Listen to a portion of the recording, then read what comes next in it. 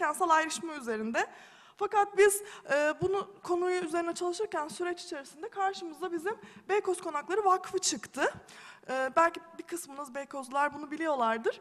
Biz araştırırken Beykoz Vakfı amacını e, Beykoz halkıyla yardımlaşmak, kaynaşmak, ihtiyacı olanlara el vermek olarak e, ifade etmiş.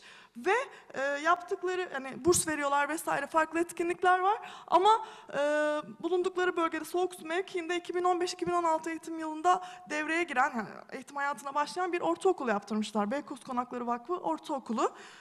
Bir şöyle bir şey olduk. Yani hani Beykoz Konakları ile ilgili yapılan o çalışmalar ve içlerinde bu tarz amaç tabii ki e, farklı nedenler, alt sebepler olabilir ama var olan bir şeyler var. Dedik bu bizim aklımızın bir kenarında dursun.